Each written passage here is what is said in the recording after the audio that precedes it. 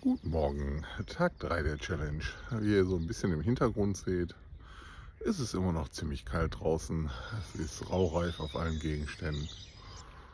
Ja, das Meer wird sich aber nicht verändert haben, die Temperatur bleibt gleich. Und ich bin mal gespannt, ob gleich die Robbe denselben Tagesablauf hat wie ich.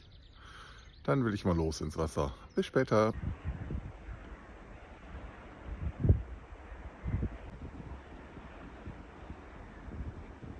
So, da bin ich wieder.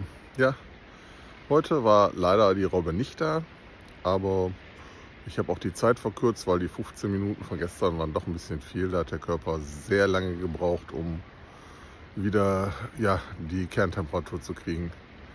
Ich bin heute mal bei 8 Minuten und dann schauen wir mal, wie es mir geht. Und vielleicht kann ich es dann morgen wieder verlängern.